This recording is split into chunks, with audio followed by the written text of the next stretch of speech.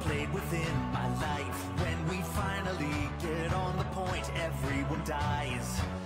I understand the thighs. Should have picked Mercy.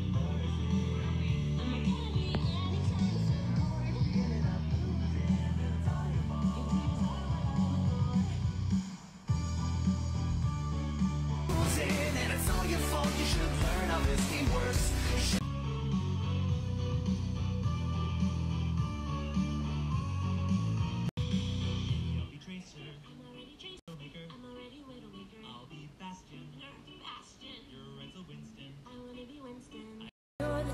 That gets a mic and tries to lecture me. Never seen anybody rage quite as hard as you.